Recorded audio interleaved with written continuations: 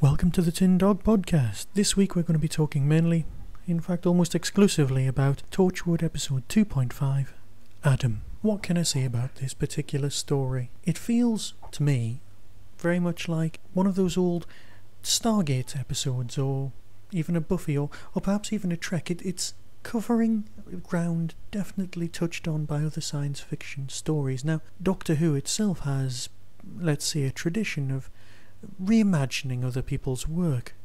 So I really have no issues with that. Again, it's an extremely good example of how Torchwood Series 2 is so much better than Torchwood Series 1. We've got extremely good performances from everyone. Adam's very good. At the beginning, it doesn't exactly look like he would fit in. Toshiko, the altered Toshiko, very nice performance.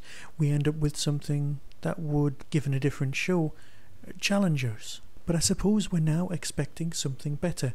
Torchwood has upped its game, and we're now expecting something so much, well, better. This is a good thing.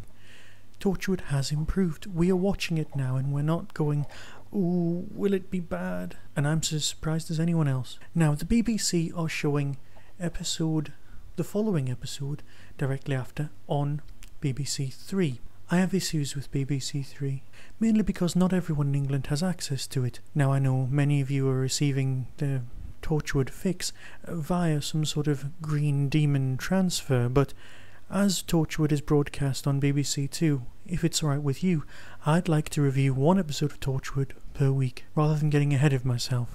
That's alright. However, my main issue with BBC Three is one of a logo.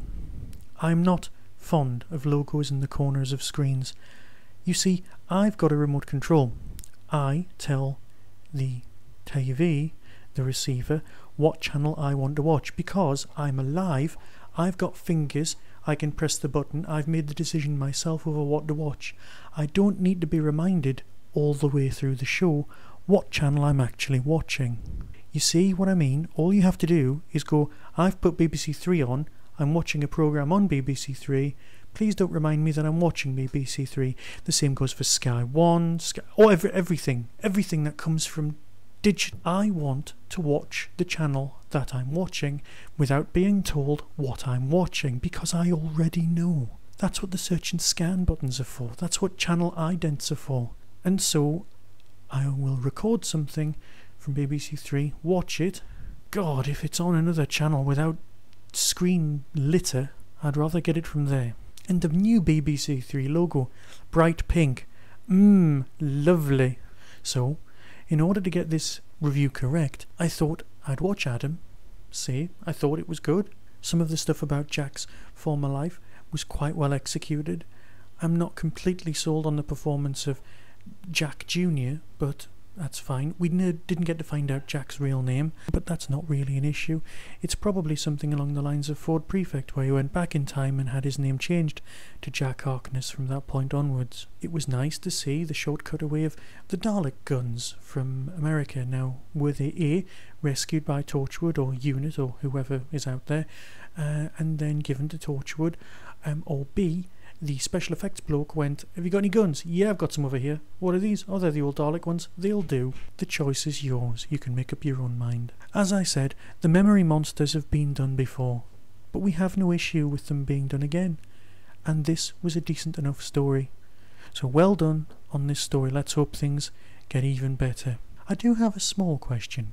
If the memory monster only exists because he's in people's memories, how does Rhys see him and why does nobody react to Who's This? It's a small thing, but I'm not completely sold. This week's episode of the Tin Dog podcast is dedicated to Ron Bogner, who is the first person to donate some money to the running of the show.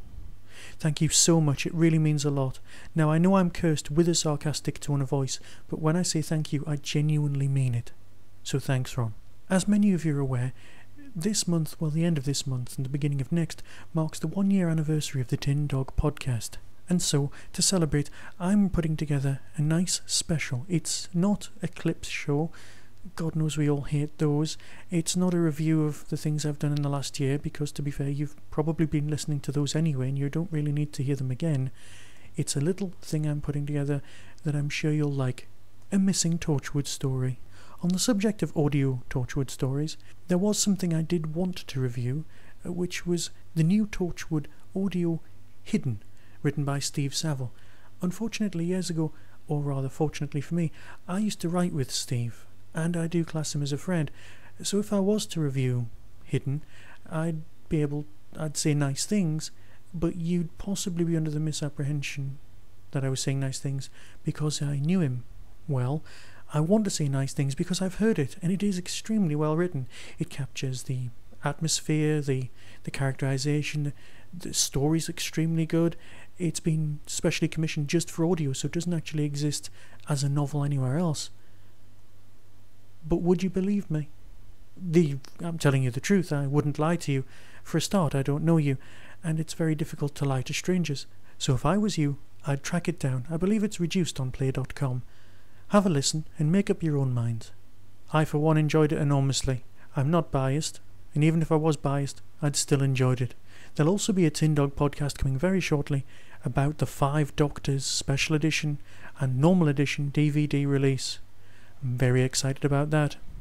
So until then, until next time when I'll be reviewing Reset, Martha's Return, be seeing you.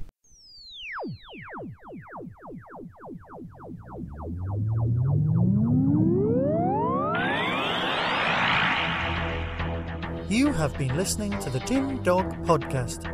Doctor Who and its associated shows are all trademark of the BBC. No infringement is intended. Contact us at tin-dog at hotmail.co.uk.